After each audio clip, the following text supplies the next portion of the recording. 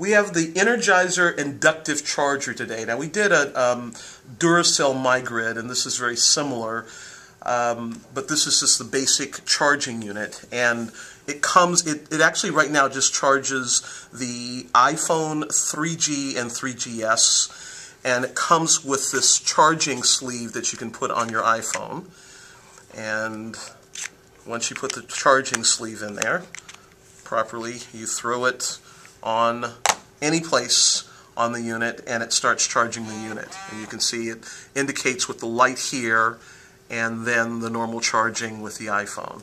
Um, so uh, th iPhone 3G and 3GS. It also now, I don't have one, but I have, th so this is the um, case for the 3G and 3GS.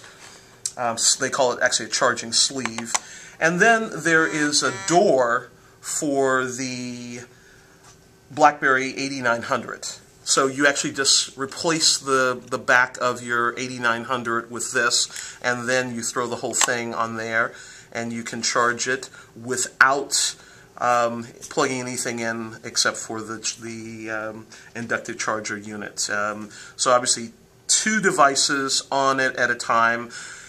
It uses this um, charging thing called Qi XI, one of my favorite words in, in Scrabble and Words with Friends.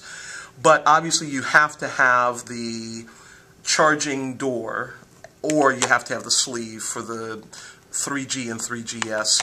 Uh, they're going to be adding more things later. The other thing that it does have is it has a USB port that you could plug in a USB uh, cable, but again, it has to be one that already has the, the Qi charging unit, and they're going to be adding more devices, um, but right now, iPhone 3G and 3GS, and BlackBerry Curve 8900 series. This is the Energizer Inductive Charger. Thanks.